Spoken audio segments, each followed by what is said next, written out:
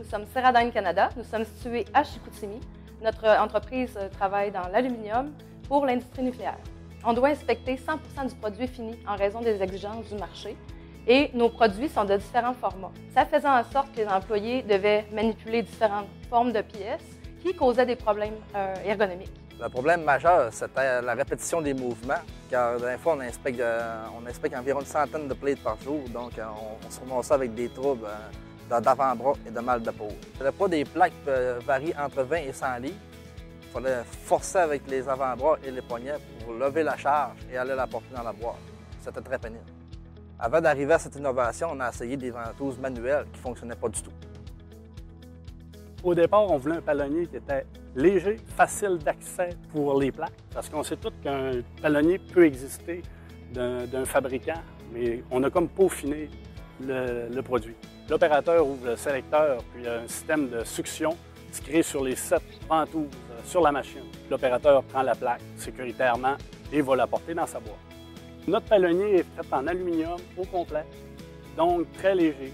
On a installé aussi un système de zéro gravité qu'on appelle pour lever le palonnier dans le fond, puis faire les manipulations avec. zéro gravité, ça veut dire qu'on a, on a l'effet d'une feuille de papier dans nos mains quand on manipule. Le design a été approuvé par notre ingénieur qui a suivi les normes euh, du Québec euh, qui sont en vigueur au niveau du lavage. Nous avions des ressources externes euh, chez 3M au niveau ergonomique qui nous ont aidés à identifier les séquences d'ergonomie qui étaient problématiques dans notre opération de, tous les jours.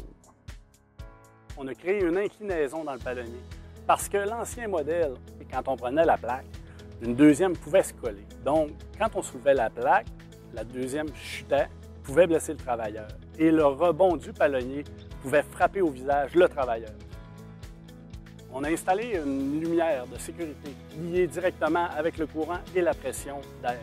Donc, si on a absence d'air ou d'électricité, la lumière allume, donc l'opérateur doit cesser immédiatement la manipulation de la feuille. Un gros problème qu'on avait également euh, avec l'ancien modèle, c'était l'entremêlage des tuyaux. Quand les tuyaux étaient entremêlés, on perdait l'air, donc euh, il y a risque de chute de feuilles. Pour éviter le problème, on a mis des tuyaux torsadés, on a passé le câble dedans. Donc, l'opérateur peut aisément se promener avec le palonnier sans créer de torsion de tuyaux d'air.